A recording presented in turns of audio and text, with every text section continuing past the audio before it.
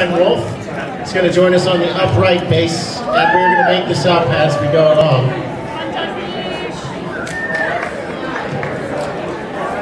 Um,